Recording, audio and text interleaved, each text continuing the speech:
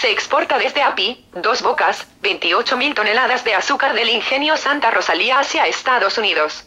Provenientes del ingenio Santa Rosalía 28.000 toneladas de azúcar saldrán desde API, Dos Bocas, hacia Estados Unidos. La zafra del año pasado alcanzó 1.250.000 toneladas. En este año la producción fue de 1.650.000. Paraíso, Tabasco.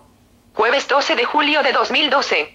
El secretario de Desarrollo Agropecuario, Forestal y Pesca, Sedafop Ignacio Lastra Marín y el director general de la Administración Portuaria de la Terminal de Dos Bocas, Roberto de la Garza Licón, supervisaron embarque de 25.000 toneladas de azúcar con destino a Estados Unidos provenientes del ingenio Santa Rosalía.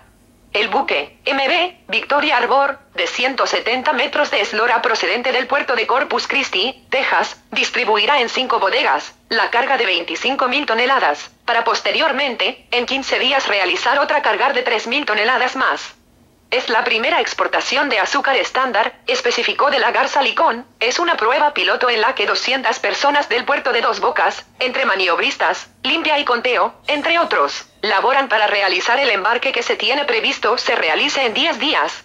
Con esto avanzamos en el manejo de graneles agrícolas apostando en la situación geográfica atacando el área de influencia y el interland, territorio o área de influencia, de la terminal marítima, dando competitividad al productor, al ofertar servicios portuarios competitivos, infraestructura, y notable reducción de costos en el traslado del producto, indicó el director general. Adelantó que la terminal marítima de usos múltiples del puerto de Dos Bocas exportará clinker, cemento, producido en la entidad por Olcima Pasco Macuspana. Por su parte, al realizar recorrido, Ignacio Lastra Marín especificó que la zafra del año pasado fue de 1.250.000 toneladas de caña, y para este año, alcanzó 1.650.000 toneladas.